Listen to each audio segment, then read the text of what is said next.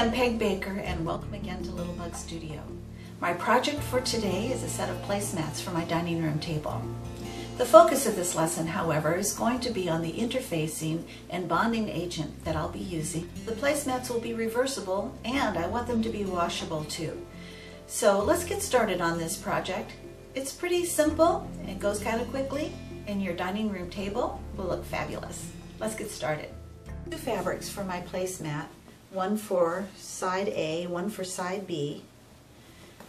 Our placemat is 18 by 13 finished, so I cut these 19 by 14 each. That way we'll have a half inch seam allowance all the way around. So the interfacing is from uh, Stitch and Sew. It's cut to the exact size of my placemat, 18 by 13, and I've also washed this.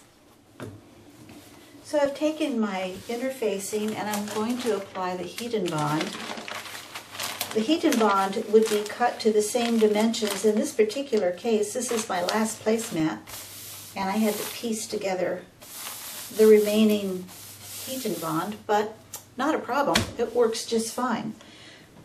So I've lined up the part that I could on this side, and I'm going to apply some, uh, extra heat and bond strips on the side and use this material to uh, efficiently.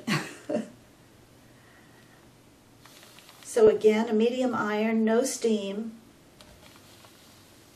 two seconds for the initial bonding. So now this is nice and cool. Remove these little strips of paper. And you'll see that the uh, adhesive has adhered and it's ready to take fabric. I'm going to start with this pretty piece. But in order to line it up properly with the interfacing, I need to turn it so that the pretty side is against the table, or if you prefer, right side, wrong side. Here's my interfacing. You can see the adhesive. We want that toward the wrong side of the fabric. We need to flip it over and iron it. You could pin this down, but you can also get a a good grip on the corners and just flip it over. Smooth it out. And again, your medium iron, no steam, start in the center. This time hold your iron on for six seconds. Be sure those corners get a, a good bond. Now, let's let that cool completely before we handle it. And I'll take the part that we bonded and I'm going to lay it on the pretty side of this fabric and the pretty side of this fabric are going to go together. So let's line these up. And in this case now, you will need a few pins. And I don't want it to shift. I also need to leave an opening for turning this. And I'm going to make it a generous one because this fabric is this interfacing stiff and we're going to need some room to do that. So I'm going to put a pin here and a pin here. There we go. And I think I'm going to put one right here in the center too. So when we go to the machine, we'll start sewing here. This is where our opening is and I'll show you how to stitch close to this interfacing. So I'm bringing my material over and I'm going to lower my presser foot at the end of this area that we want to have open.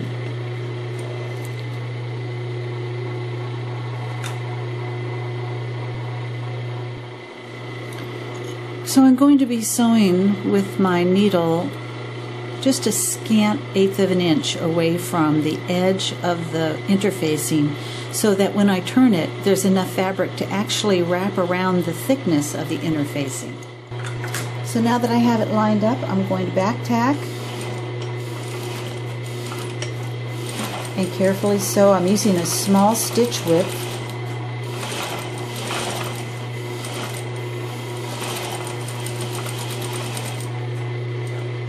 carefully turn that corner with a pivot.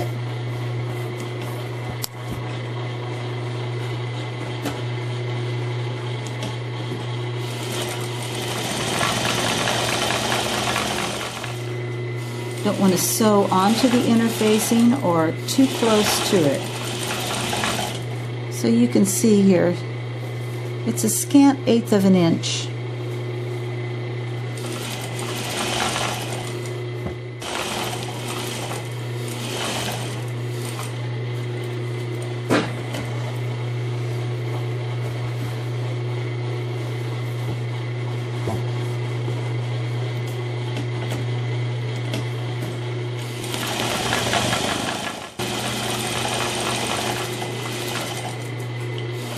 finish up with a back tack and then inspect the work.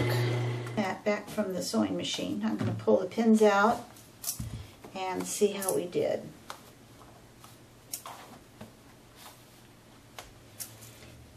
Here's the opening that we left so we can turn it. And quickly, I am going to just snip some of these threads. Keep it nice and neat. I want to trim the corners. Careful not to trim the actual stitching.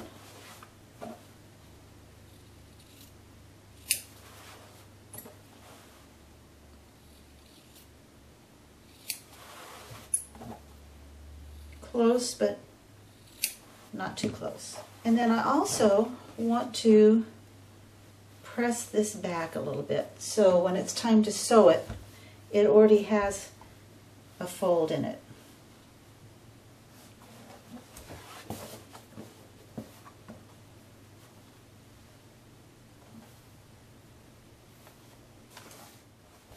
We're ready to put our next piece of heat and bond on. So here's our interfacing, heat and bond, and we'll apply it like we did the first time. Starting off with a medium iron, no steam, start in the middle, a couple of seconds, move it over to the next spot,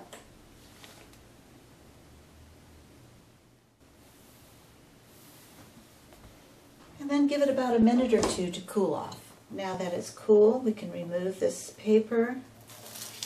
And again, you'll see that the, the adhesive is bonded onto the interface. So now, if there's going to be a tricky part to this project at all, it's turning this thing inside out.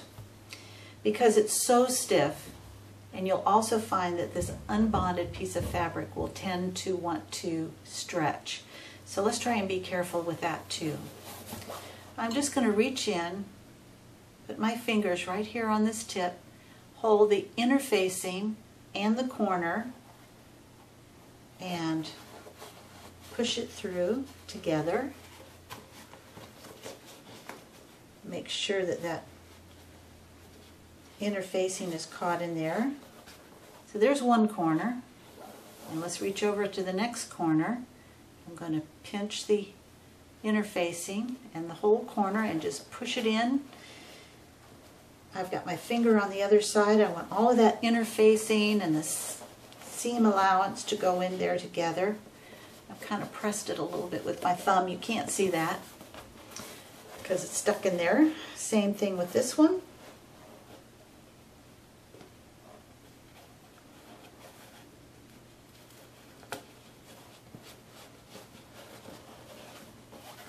Again the last one.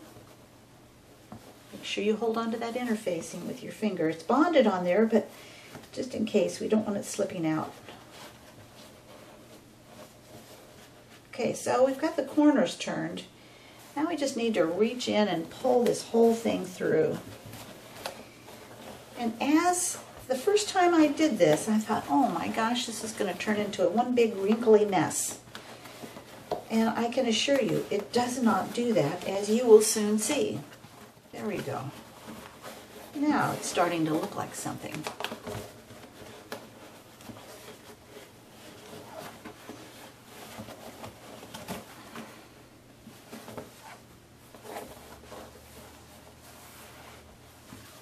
So here's our opening. And uh, you can see that's the shiny adhesive side. And in order to make this lie down flat, I'm going to take my iron and very carefully tack this seam allowance. I don't want to get my iron on this uh, adhesive, but this will make sewing this down a little bit easier by tacking this seam down and it's catching the adhesive. It's just going to make it easier to close up that seam. So that's down there nicely. Now let's fold this under. Because it hasn't been stabilized, it's this opening stretched a little bit. And that's a natural occurrence. So we're going to press it on this corner. Still, I'm not really ready to adhere the fabric yet. I just want to give that a nice neat look. Now we put adhesive on this side. As soon as you take the iron and press it down, this fabric is going to bond to that interfacing. I want to make sure that there's it's nice and smooth and there's nothing wrong with the corners and the flip side looks good. Pull this little thread out. And uh, there we go. We don't want one side rolling over to the other it will occur to some degree because of the thickness of the interfacing, but we don't want it to be excessive. Okay, I think we're ready. So I'm going to take my iron in the center, hold it down for six seconds,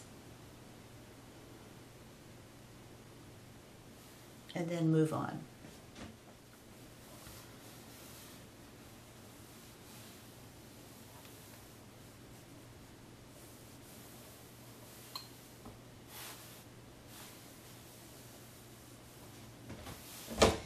So now that we've finished bonding that, applying the heat, let's let it cool completely before we handle it again. My placemat is now nice and cool and there's only one step left and that's sewing this opening closed. You could certainly do that by hand.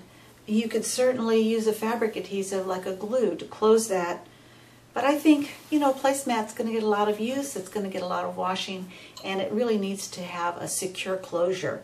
I'm going to take this to the machine and just do a top stitching very close to the edge all the way around. I'll be right back and you can see what our finished placemat looks like.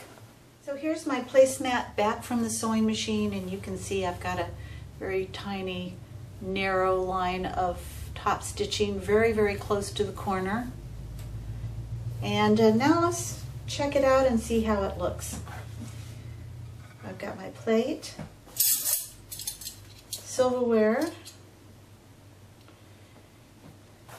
and another piece of fabric from this beautiful collection, um, my napkin.